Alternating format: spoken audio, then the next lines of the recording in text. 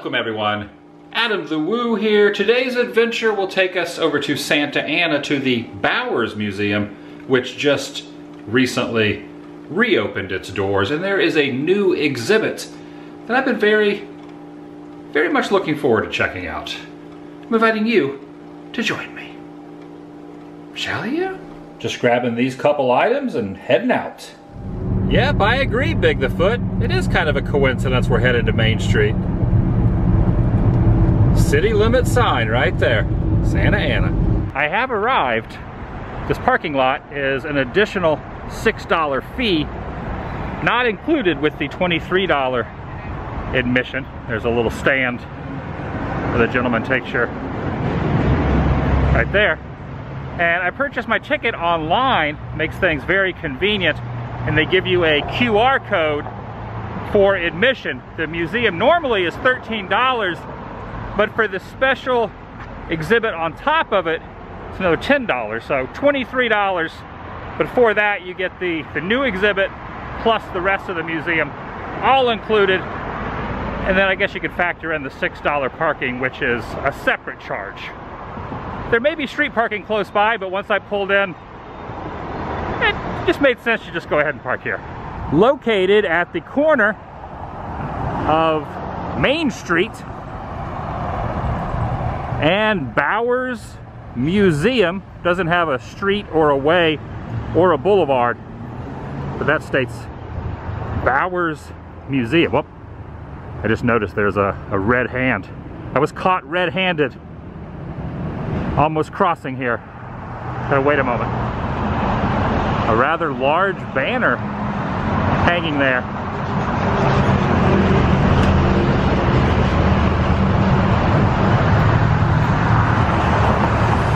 Inside the Walt Disney Archives, 50 years of preserving the magic.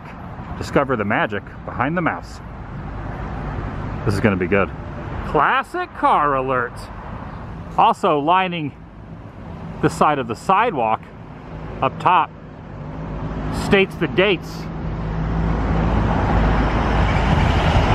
March 7th, 2020 is when it began. A little bit of a curveball, however, over recent months, and it has just reopened and will continue through August 30th of 2020. It's back. 2002, the physical address. 2002 Main Street, Santa Ana. There's also a restaurant here as well. I'm seeing some signage with some information up top the welcome sign. And then down here, some of the regulations on what to wear, maintaining a little space, and cleaning of the hands. There is products available that are provided. You might be able to also purchase tickets at the desk. They're just checking me in, but I did pre-order, but I think you can get them here at the desk as well. I followed up on a little bit more information about that. You can purchase tickets at the front counter. However, there is no re-entry. Even though I'm in the museum, going into the exhibit, there is no re-entry. So if you need to use the facilities, get a drink, do that before heading in, because once you're in and out, you have to pay again to go back in. Along the ground, they have these one-way stickers and these stanchions guiding the way in. And then up top, pretty dang cool. Oh my goodness. gotta, gotta love this elephant flying through the air. And up top, there's Walt himself. They're doing a presentation of a little slideshow of Walt and a few other gentlemen and groups of people. And straight ahead, there he is himself, right there. The tale began in 1923 when Walt arrived in Hollywood. Over the next four decades, this one-of-a-kind storyteller induced the world introduced the world to unforgettable characters. The archives officially began on June 22nd, 1970. So yeah, 50 years a recreation of his office, not the one that was in Burbank in the studios, but the one that was used in the film Saving Mr. Banks with Tom Hanks. Nearly everything has a description along the side, either the wall or in front of the items itself. And here's a kind of a side view. And there's Walt looking over his recreated desk area. Looks as if some there's some Disneyland artwork in here. These are surveying items back when the park was being constructed in the early 50s, as well as some analyst books. Brass survey markers, you can see you can see the inscription there on each and every one of them. Artwork representing an aerial overview from 53. States most of this has never left the archives, but for now, the first time, they're bringing it to us. Now, up in there, up, there's the man himself. Fantasia poster also used in Saving Mr. Banks. An original animation desk used at the studios back in the 40s. And some visual development artwork here along this side of the wall. An assortment of concept features up there on that cork board also. Now this has changed a little bit during the current times. There are no books you can handle, but they do have these these these versions of cloth script story pages from Steamboat Willie back in 1928. And then 10 years later, the brave little tailor from 38. And there he is down there selling selling some hot dogs at the carnival. The Carnival Kid. Also keep the doors closed while the company is doing their filming. Hairstyling and makeup department and the makeup department. There's a little suitcase there as well. A menu from the commissary. Monstro's Morsel was only 55 cents. Oh, I see what they did there, 55 cents. And the visitor pass here. Studio visitor pass, a facsimile. facsimile. Back in 1940, you get a chef's plate special for 45 cents It's a good deal. I really like how descriptive everything is with all the information next to all the items. Snow globe from Mary Poppins. Oh my goodness, this is the this is the snow globe from Mary Poppins. What the heck? One of the earliest film prop props incorporated into the archives. Amazing.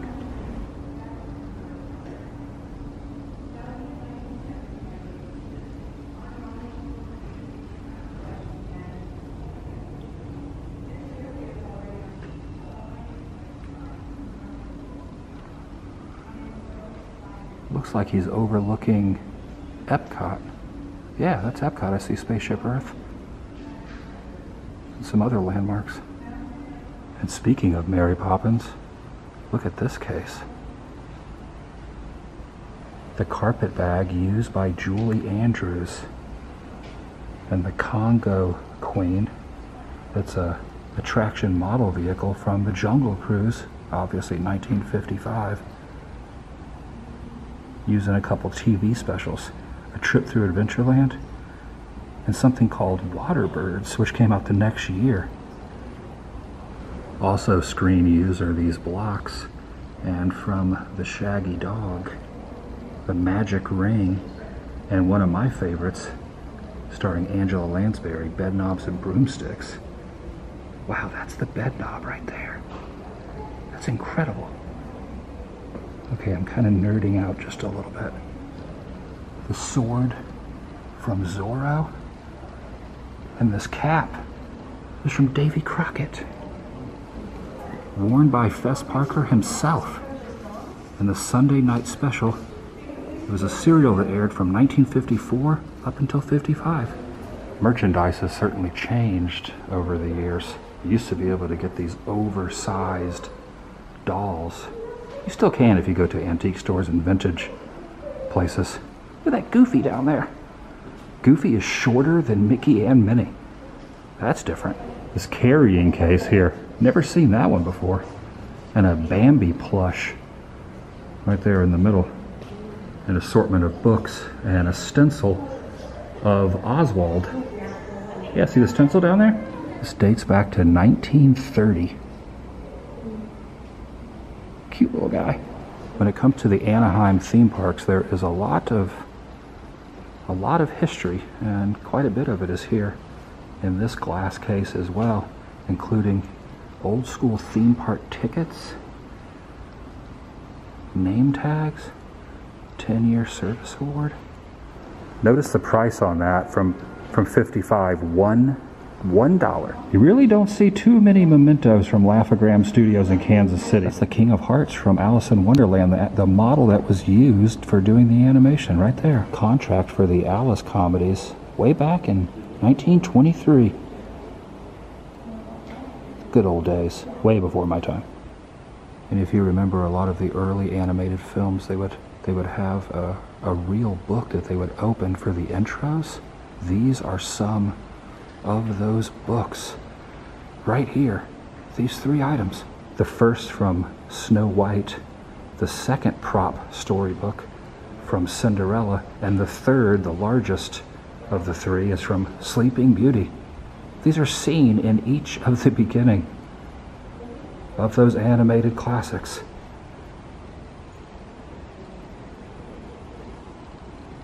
Doesn't get much more awesome than that. Wasn't expecting to see anything from Return to Oz in here, but there is this very large painting. It's not wanting to focus. There it goes. It's in focus now. Return to Oz. When I was young, it kind of scared me a little bit, especially those creatures that rolled around. Also, I believe it was Fairuza Balk's first movie. Also, some other artifacts I was not expecting in here would be these Edward Scissorhand pieces. You see, there's Edward down there, played by Johnny Depp. That's kind of how we know him, but this shows the progression as it went along.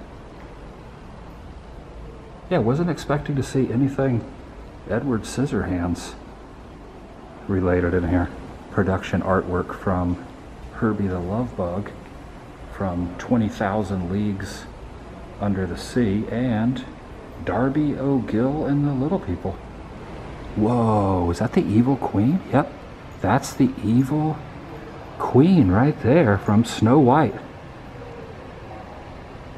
She's like staring attentively at me. A little nod to Walt Disney World. This was in the Emporium on Main Street, not Disneyland, but the Florida counterpart.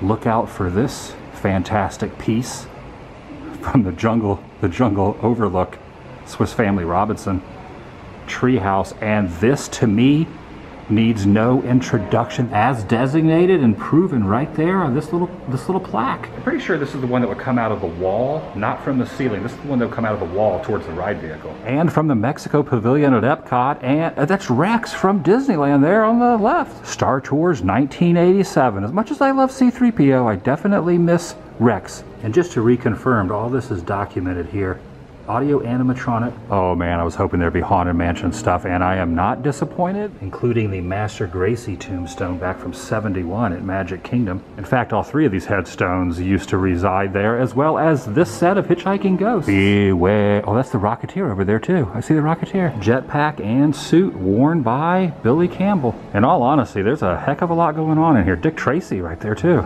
Next to Emilio Estevez's jacket. Four or five foot tall Roger Rabbit reference model next to Wilson from Castaway. That's that's from Castaway. And clearly I'm not the only one overly excited. Roger is pretty stoked on his new friend as well. Props from the Beauty and the Beast live action from 2017. Pirates of the Caribbean as well is accounted for. Okay, Winnie the Pooh I expected, but the puppets from What About Bob? One of my favorite Bill Murray movies, that's for sure. Dr. Leo Marvin's a genius. Could it? Oh, could this be from Honey I Shrunk the Kids? I think I think it is. Yep, that's the shrinking right. Technical term, shrinking machine the one that Rick Moranis used as the inventor back in 89. This is the screen used one that they recently refurbed, I do believe. Herbie from the fully loaded version, and this bicycle piano from Wonderful World of Disney. And let's not forget that Fred MacMurray drove this actual vehicle in the Absent-Minded Professor. This is the one. I can just see this 1915 Model T flying through the air. Wow. Chimney sweep broom head there from Mary Poppins and glasses worn in 1982's Tron and Christopher Lloyd wore this in Roger Rabbit. Another look at those two pieces from Honey I Shrunk. And I can never physically fit in that outfit, but I could probably fit into that. Right in the middle there, the outfit worn by Angelina Jolie from The Lion King, this, this model of Pride Rock. I see Roger over there, way over there, kind of looking at me. Such an expansive array of such an expansive museum. There's a there's a lot to see here. Next to Herbie is Dick Van Dyke right there. And look, there's there's Lillian with a recreation of the courtyard that's that's located up at the studios in Burbank. Oops, I didn't get a look at that plane up there from the ceiling. Don't know how I missed this. It's also from the Rocketeer. As I exit out of this exhibit, of course there is Walt who needs no introduction. But here is the current archive staff right here. I thank them as well. Also on the way out there is a gift shop and I was reading online that this just now reopened. This might be the first day where the gift shop is now reopened. The exhibit's been open about a week reopened, but the gift shop is the first day. Some pretty good t-shirts here. They might have more inside, but these are these are pretty nice. This might be the first time I have seen Disney merchandise in months that I've seen it with my own eyes. These are some vinyl records. This, oh man, this uh, old school record player. is pretty good. A Day at Disneyland. Narrated by Jiminy Cricket and Walt Disney. Got some tiki stuff here, and also the same shirt design comes in a in a little carry bag as well. A good assortment of books. Oh, this one right here is one of my favorites. Yeah, that's a good one right there by Chris Nichols Taschen. Yeah, that's a good one. Highly recommend getting that. He's given the whole state a big hug. We have other items as well that are not related to the the Disney exhibit. But there's quite a bit. The ink and paint, the ink and paint book, which is there. Not seeing a price tag anywhere visible. I don't want to go rooting around looking for it, but this is a box set of flip books from the Nine Old Men. There they are listed there, so each book is detailed to each of the fellows. Prices are on the shirts are as follows. The t-shirts here are $22.99. I believe that is a long sleeved long sleeve sweater style shirt, $39.99. And the other ones are 44 for the full on hoodie there. Quite a few rare books along in here for $350. You can pick this one up, The Illusion of Life. And for nearly $800, The Snow White. The art is in the making, $795. Also some Bambi, Pinocchio, and Peter Pan. I kind of wish they had this in a t-shirt design. I don't really have a use for another bag, but if this was on a t-shirt, I would totally sport it. Also, I have been wearing an appropriate t-shirt. That was worth it. Totally worth it, especially for anyone who is really into Disney history, the, the archive history, theme parks, movies, a lot of props and screen used items worth checking out. For the, for the price was pretty good. For the time being, the only entrance is the one I just entered and exited from. But it's a very expansive piece of property. All this belongs to them. It's been a few years since I've been here.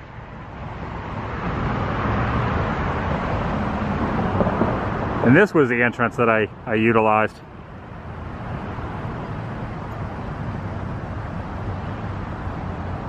But for now, the, the main entrance they're considering the side entrance. Everything went well. Limited capacity. They request that you buy tickets in advance, but they do sell them at the door. Everything was spaced out. All the appropriate stickers along the ground and everything kind of stationed off. It was a good experience. That's going to do it for today. If you're new here, please subscribe by doing so. It helps keep you in the loop and update on future uploads here on this channel. Take it a step further, ring that notification bell, and if you are in this area, if you're in Southern California, just down the road from Disneyland, and you feel like diving into a little bit of history, some amazing, seeing some amazing things, one of the few when it comes to Anaheim, Santa Ana, Garden Grove, Orange County area, even though Disneyland does not have a set date to open the parks, Downtown Disney does, but this is about as close as you can get to seeing and being around good old classic Disney. I'll see you in the next video. The vlog is over. They were cones.